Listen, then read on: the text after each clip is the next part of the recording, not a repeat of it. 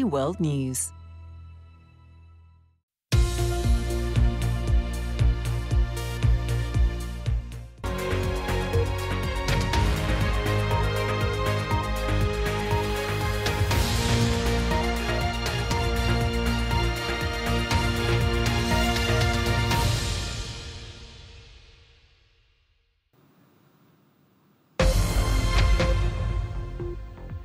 I'm Nada Tawfik in New York, and this is BBC World News America. As Russia continues its military buildup on Ukraine's border, Washington warns an invasion could happen any day now.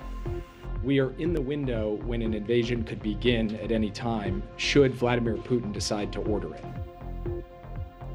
Ontario declares a state of emergency as the premier of the Canadian province pledges to crack down on the protesters. As Ethiopia's civil war persists with rebel groups fighting the government, we report on the human cost of the conflict. And going wild, how four lions are being introduced to their natural habitat after being rescued from a French circus.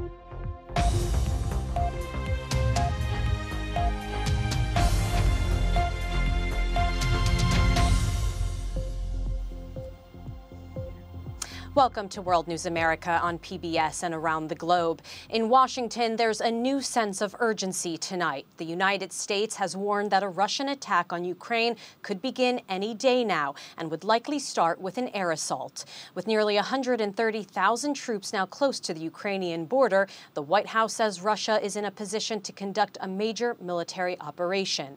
President Biden hosted a call of world leaders this afternoon to discuss the crisis.